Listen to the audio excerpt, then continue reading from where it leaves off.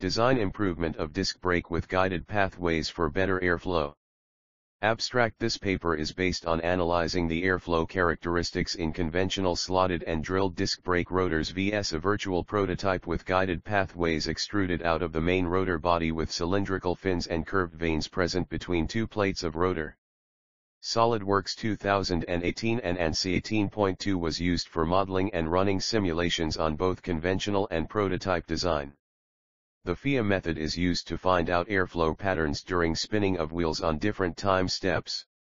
During a motorsport event cars run on a track with both sharp turns and long stretch of road and better braking action can be really advantageous. As brakes are generally air-cooled and with continuous braking through an event can raise temperature of rotors quite high which could result many possible circumstances like thermoelastic vibrations, heating up of brake fluids, wearing out of rotor surface and also it give rise to thermomechanical stresses which lowers the fatigue life of any component which eventually results in failing or inefficiency on braking system. Better airflow characteristics potentially have better and faster cooling rate of rotors which will support the idea for this prototype. So, to test how guided pathways in brake rotors affect airflow I have carried out simulation studies on my prototype and compared it with rotors available to purchase. Results of the simulations turned out be better as compared one of most used type of rotor, vanned with slots and drilled holes, as brakes are sucking air themselves. So, this design will work better even if there aren't brake ducts present in car as they are normally found in sports car. Keywords ANSYS, brake rotor design, airflow, FEA, conventional design, CFD analysis. Introduction Ever since automobiles have people want to take them as fast around racetracks and engineering masters are putting their lot of effort in making cars fast and fun to drive but if the vehicle cannot stop efficiently or in time it's all worthless because safety of driver is topmost priority of any automobile manufacturer. Evolution of brakes had been done in previous years and from wooden brake pads then drum brakes and now disc brakes their design is continuously improving. In 1953 Formula One race automobile experts used disc brakes in their car and won that race because when you can apply brakes later and still be able to take a perfect turn, it will reflect in the lap time. For any motorsport event where, braking conditions are very harsh it is very important for driver's safety that brakes should work properly and efficiently. In a disc brake system, rotors provide the surface for absorption and dissipation of heat at the time of braking so besides brake caliper and type of brake pads a lot of factors of braking depend on rotor characteristics. During the event of braking as pistons. In the caliper squeeze the rotor and with that it comes under static and dynamic loads, thermal and fatigue stresses are generated and with them sometimes it also accompanies by inducing small vibrations on rotors and when car takes a turn accompanied by braking action at the time both transient conduction and convection behavior of rotors comes into the picture where it is important how thermal load is distributed across the surface of rotors and how much time it will take to cool down to a optimum temperature because if temperature of brake is still high then brakes will not work efficiently and slowly will lead to thermoelastic deformation which alters the contact pressure distribution when brakes are running very hot inducing vibrations in rotors due to uneven braking pressure. Types of brakes. As far as braking of a car is considered there are different types of brake rotors for different cars depending on lightweight or heavyweight, what kind of vehicle it is, a sports car or a family car and also depending on different types of weather conditions as per their optimum performance. Dissipation of heat through solid objects occurs with convective heat transfer and radiation but usually the amount of radiative heat transfer is low as compared with convective heat transfer so the designs mainly focus on the same. Drilled disc rotors, as the name suggests there are holes drilled through the rotors which allows hot gases to pass and gives rotors more surface area to come in contact with atmospheric air to cool down. The holes also allow the water to get out easily when vehicle is running in rain and there is water around brakes. Vented rotors, they provide more surface area as compared to drilled rotors because the more surface area of hot metal will come in contact with fluid more will be heat dissipation.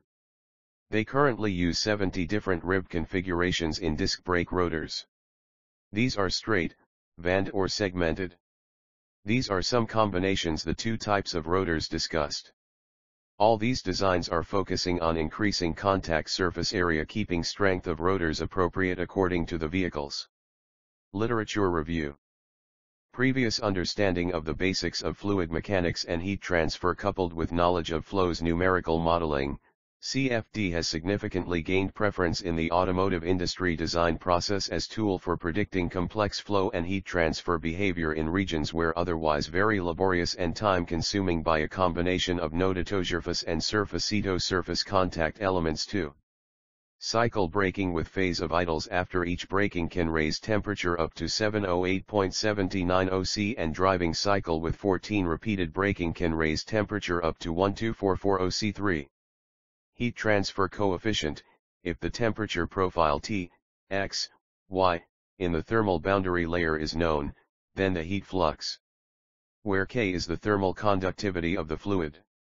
In practice, a local heat transfer coefficient H, X, is defined as. By combining these equations, we get and mean heat convective heat transfer as 4. Objective Various designs have been created to maximize the surface contact area to increase heat dissipation from brake rotors and there is still room for new and innovative designs. Even if we increase the surface area by adding extra vanes or making slots through rotors it doesn't mean that the whole area will come in contact with cold slash atmospheric air. It is obvious that after some amount of heat is lost by rotors the air around will warm up the air and the temperature difference will reduce. So, the objective of this paper is to design a prototype rotor which will be able to pull air itself as it will rotate with the wheel. This will make extra surface useful as it will be able to release heat from brakes to the air more efficiently. Methodology Inspiration of design Figure 1 Schematic working of centrifugal compressor In fluid machinery we have seen how a centrifugal compressor works it increases the pressure of fluid by action of centrifugal force and creating a pressure difference between center and circumferential edge. A similar approach has been taken in this design, when vane rotors rotate they also create pressure differences between outer and inner edges. This phenomenon creates motion of fluid, due to pressure difference, and actually helps to circulate the air but if we provide an opening and guided path for the air it will reach to the vanes more efficiently and will help to cool down rotors faster because it motion of air particles will decide the convection coefficient of the disc plates, as it depends more on geometric and fluid flow rather than material properties. Figure 1 shows schematic diagram how fluid flow occurs in a centrifugal pump. This diagram provided a perception how things need to work in the prototype rotor. Figure 2 Schematic airflow across rotor. In Figure 2, standard vane rotor with drilled holes and slots, it can be seen that to direct that flow of air to vanes there should be a guided path cut out from it. Design characteristics. Figure 5 Sectional views.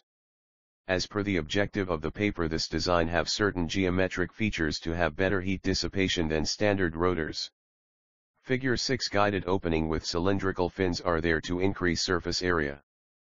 Figure 5 shows the guided path profile which has been cut out in such a way that when rotors will rotate there will be low pressure zone near center at that time air will be sucked into it and directly go vanes more efficiently through the path created. In this way it will move across larger surface area and more heat can be easily dissipated with more airflow across the brakes. Air will go in axially and come out radially. For ensuring that air flows towards vanes small guiding fins have been added at the exit of guided paths which can be seen in figure. Also, cylindrical fins have been added in space between vanes so that they can dissipate more heat and can also provide structural integrity against squeezing force of brake pads during the action of braking. CFD simulation to check the validity of virtual prototype rotor simulating analysis is important to verify that modification in geometries have any positive impact towards the objective. Every fourth time step calculated by simulation software of both models have been compared and from flow patterns of both models it quite clearly appealing that with guided pathways cut out from rotors with some slight modification in design features can have better airflow characteristics than normal brake rotors. Also, with better airflow characteristics and higher speed of flowing air through vanes will help in faster cooling of brake rotors and help to avoid circumstances of overheating of brakes under continuous application. This could also help in reducing thermoelastic vibrations induces due non-uniform contact pressure which happens when brakes are at certainly higher temperature. So, with more precise calculation of area of opening of guided pathways, angle by which they turn air optimized with more surface area and less weight they can used in sports car and even for endurance motorsport events where usually brakes fail due to excessive heat and not enough time to cool down this type design will work better than currently mass-produced disc brake rotors. Future scope This paper represents the benefits of having guided pathways through rotors for better airflow through vanes inside it. With the help of this virtual prototype the difference between average convective heat transfer coefficients of both can be found and with them transient cooling behavior of brakes can be studied. If the model shows significant improvement it can be adopted for both family and sports car but for that a easy way to manufacture will be required. So, it will be a challenge to manufacture this type of rotor at considerable cost as the design is expensive for production.